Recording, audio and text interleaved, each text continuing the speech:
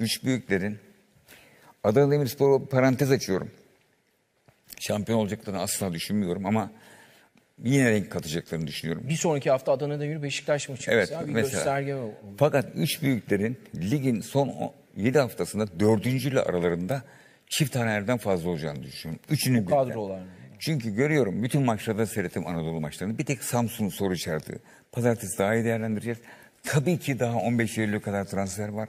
Tabii ki Antalya'da, Konya'da, İstanbulspor'da Bence Trabzon'da. sürpriz oyuncular alacaklar. Trabzon yani büyük kulüp diye mutlaka alacaklar da onu kastetmiyorum.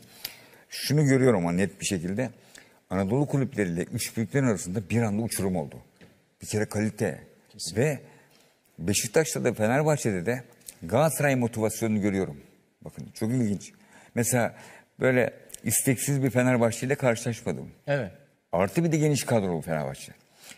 Devre arasında çok iyi transfer yapan Beşiktaş Geçen. bu, şimdi yapmış olacak vay be Abu Bakar geldi deriz. Üzerine şimdi yine oyuncular almaya başladı. Evet. Bir de oturmuş bir düzeni var. Bir de uzun yıllardır zaten bir coşku problemi de yaşamıyor. Dolayısıyla bu sene üç büyüklerin şöyle söyleyeyim Adana Demirspor deplasmanı, Trabzon deplasmanı, Samsun'u bilmiyorum. Kayseri belki diğer 6 puandan aşağı aldıkları maçlar kendi aralarında kesinlikle şeydir, sürprizdir ve kayıptır.